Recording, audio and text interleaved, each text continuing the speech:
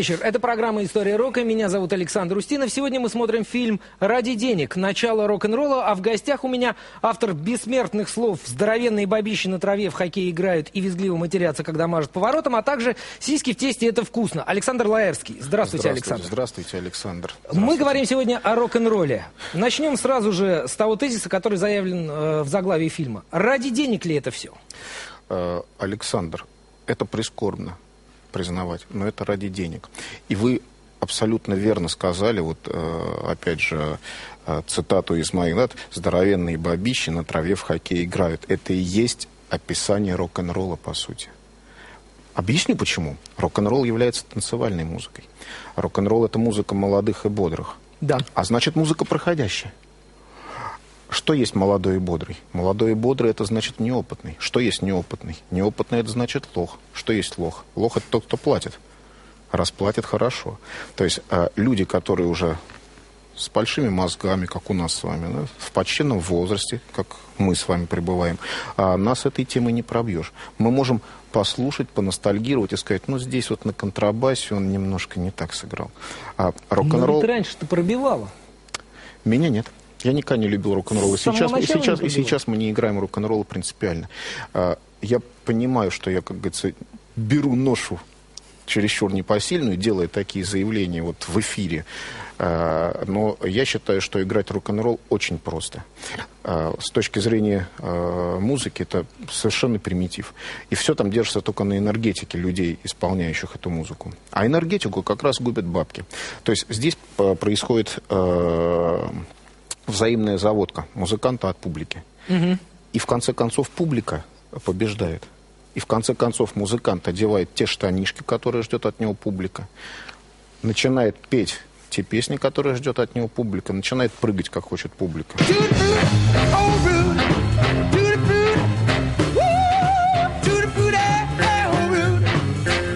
Здесь все-таки ситуации курицы и яйца.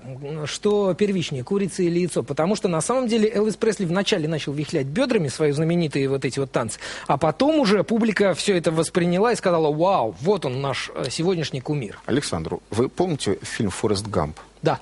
А, Помните, как э, там э, Да, трактуется Форест, по- появление да. вот этих движений? Я уверен, а, что Элвис Пресли, при всем моем уважении к гражданину, а, просто таким образом на пляже отмахивался от ос.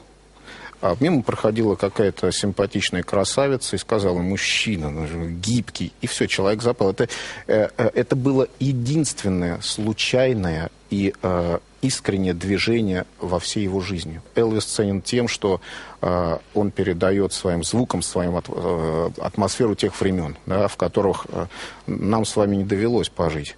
Э, тем более атмосферу э, Американской, да. да, то есть, конечно, год это понятно. Помните тот тальк, которым нас присыпали, те пеленки, это да. Вот, э, э, он ценен именно этим. С другой стороны, э, опять-таки, э, об отношении э, курицы и яйца. Чак Берри и его знаменитая, знаменитая утиная походка. Тоже выдуманная им и тоже взятая на ура и использовавшаяся после этого многими рок-музыкантами. Чак Берри хорош, я его очень люблю, но скажу прямо, я бы не хотел с ним отмечать Новый год. Опасный гражданин. Это правда. Вспыльчивый, опасный. Я, например, не И хочу... упереть что-нибудь может, за что и сил. Может упереть, может, например, э, ни с того ни с сего по щам ударить. Вот. А как бы он вроде музыкант, как бы престарелый, отвечать ему вроде как ну, невежливо, да. Днем рождения рок-н-ролла принято считать 12 апреля 1954 года. В этот день по американскому телевидению показали ролик Билла Хейли «Rock Around the Clock». Сначала эта запись особого успеха не имела. Но после того, как песня прозвучала в титрах фильма «Blackboard Jungle», началось форменное сумасшествие. В США «Rock Around the Clock» продержались на первом месте 8 недель и были проданы в количестве 25 миллионов экземпляров. Билл Хейли просто оказался в нужное время с нужной песней. Мы пришли в то время, когда в музыке не происходило ничего нового. Рынок для нас был открыт, вспоминал Билл Хейли.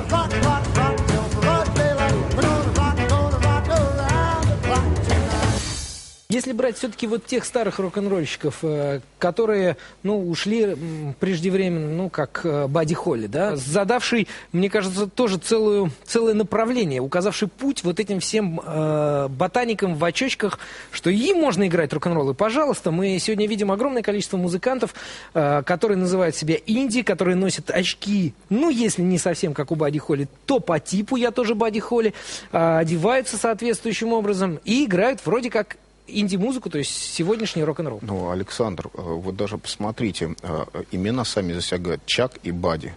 Кто? Кто? В чью пользу склоняется наш положительный магнит? Конечно же, старичок Бадди, он э, был весельчак, потому и ушел рано.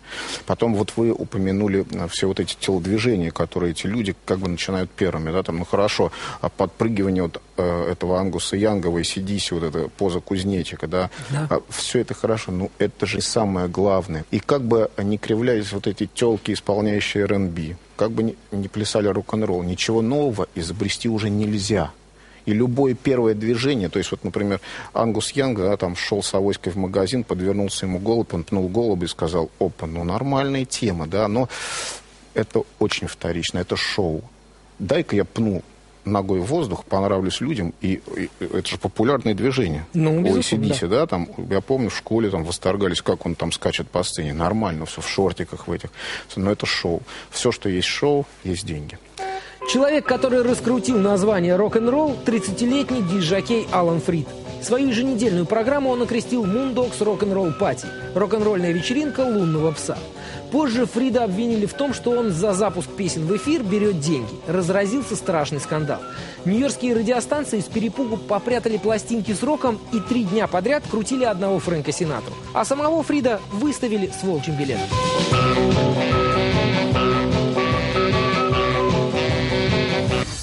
Алан Фрид был по-настоящему первопроходцем. Его имя ассоциировалось с рок-н-роллом. И вдруг такая И вдруг вот, вот да, до, до таких вот мышей. Значит, э, значит, завелась алчная жаба около него. И начала сосать бабло. И, иначе я не могу объяснить. Либо попал в долги, либо проигрался. Но человек, который такой закалки старый, это, это очень плохо. Ну, это стыдно просто. Единственное э, оправдание, которое, может быть, мы ему найдем, это то, что э, ему принесли, и то, что он э, согласился поставить за деньги, это полный отстой. Но в таком случае зачем портить карму своей программы и ее фэншуй? Ну неужели так нужно? Жалко таких людей.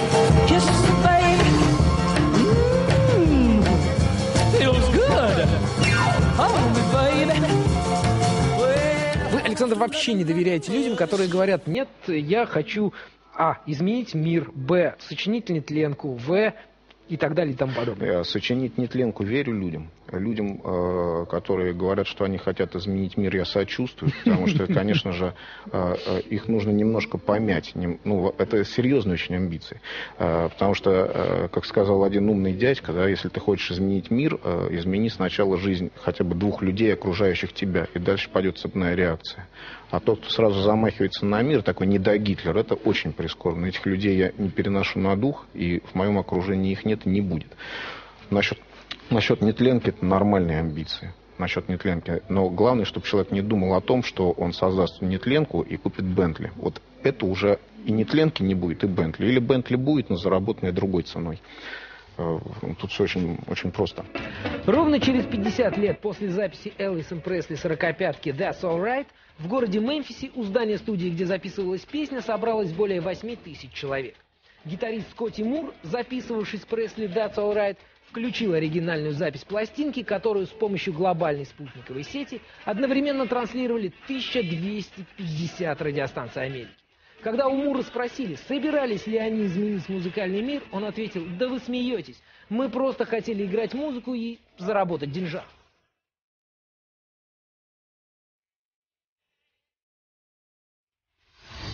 Возьмем э, время от времени, что естественно, появляющиеся э, истории, которые ну, сложно каким-то образом уличить в деньгах. Как то? Панк-рок который появился э, там, 76 именно 76-77.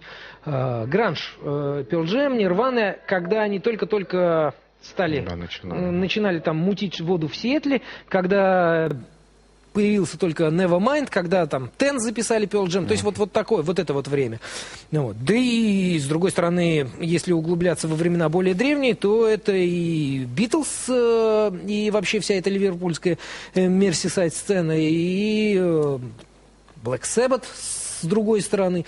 То есть все равно все это изначально происходит не ради денег. Вот, Александр, это вопрос, который я себе постоянно пытаюсь задавать. Мы же, ни вы, ни я, не знаем, что было в головах у этих ливерпульских ребят, э, когда они первый раз там собрались на своей лужайке. А, что они пришли просто попричать на гитарах, или они, может быть, увидели Бадди Холли и сказали, крутой чувак. Вот увидели так... точно. Значит, мы хотим так же, девочки, мы хотим так же. Американцы, англичане, опять же, извиняюсь, что я все туда улезаю, но тем не менее, это люди, заряженные на успех. Заряженные на успех всей своей пропагандой. Успех — это бабки, машины и телки. И только, опять же, самые конченые панки могут что-то начать либо от безделия, либо случайно, вот, ну, как, вот, как Sex Pistols, да? и, то, и то их потом покупают удачные продюсеры. То есть все-таки рок-н-ролл – это веселуха. Все, что веселуха, конечно, деньги. Конечно, деньги. Деньги, статуэтки, баба, машины.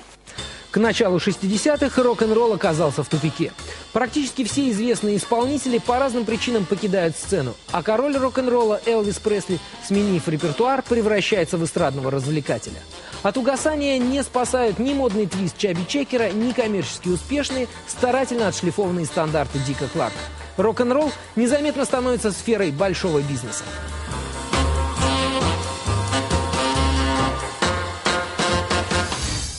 Тогда, в те времена, точно так же люди нашего с вами почтенного возраста, Александр, говорили, что спасать их надо. Вот тех, кто начал слушать Элвиса Пресли, Чака Берри. Но, однако ж, э, и те люди становились почтенным возрастом и каждый раз спасали. Может быть, это все-таки нормальная история. И вот э, то, что рок-н-ролл вот так развивается и вот так начинается, все-таки это не ради денег, не ради того, чтобы э, поставить Бентли около своего вновь приобретенного дома, а именно ради того, чтобы, да, может быть, понравиться девчонкам, каким-то образом привлечь их и просто самовыразиться. Вашим, вот самое главное, самовыразиться. Вашими устами кальмаров есть. Я очень хочу в это верить. Но вот давайте представим себе ситуацию, да, вот недавно просто со мной так было. Я там шел по центру Москвы, передвигался, и смотрю, едет бричка такая модная достаточно, окна открыты. Обычно из подобного рода бричек льется либо ужасный шансон, либо какой-то буцканье, причем такой транс, как бы, ну, транс не до транс, транс mm-hmm. для посада, условно говоря. Здесь я слышу, Дан Маккафорти надрывается. И у меня прям, то есть я понял, что это что. И я как бы глазами встретился, и он тоже просек фишку, что я просек. Угу. То есть гражданин там, может быть, лет 50 такой. Вот это редкость в данный момент. А если, то есть вы слышали где-нибудь, чтобы кто-нибудь на улице, во дворах сейчас слышал Лед Зеппелин? Там, ну... Нет, ну слава богу, ну вот... пусть они слушают хотя бы музыку своего времени, свой рок-н-ролл. Не надо слушать А какой, а какой у них рок-н-ролл? Назовите мне, какой у них рок-н-ролл? Ну, да а... хотя бы пусть Гриндей слушают. Ну как, как, да, даже Offspring. А вот я не согласен, я не согласен. Radiohead. Ну, Radiohead уже ближе. А, ну, все равно нужно знать историю музыки, которая тебя зацепила. Нужно знать, ну копните, посмотрите, послушайте, вот Харроу да. Док, Розаманас, вот эти пластинки, да, там. А, хорошо, того же Элвиса Пресли, не только по фильму, где этот э, крендель с собакой, с полицейской, как там, когда она какую-то баллонку трахнула, и вот эта э, музыка Элвиса Пресли, и даже не знают, что это Элвис Пресли. Ну, ну, покопайтесь, посмотрите, что было. Мне кажется, Александр, что вот это такой момент... Э извечного брюзжания людей почтенного возраста относительно рок-н-ролла. Нет, ну я не, понимаете, я не то, что брюжи. Можно носить адидасовский костюм, если ты не, с черкизовского рынка э, закрытого нынче, да, если только ты э, не видел ничего в своей жизни, кроме черкизовских костюмов. Вот, ну покажите же им хоть что-нибудь, кроме этих э, э спортивных костюмов. Покажите или сами постарайтесь. Посмотрите историю, может быть, что-то понравится тот звук, то есть, ну, понятно, сейчас требования другие, сейчас э, нужно, чтобы качало все это, ультрамаксимайзер так, что аж там все прет, да, там громко, хорошо. Согласен, для молодежи это важно, посадить уши. Но в, в те времена тоже был хороший звук, своя энергия. Может быть, она больше понравится. Господа, копайтесь, мозгами работайте. Ну, что же такое происходит? Не убивайте себя, в конце концов.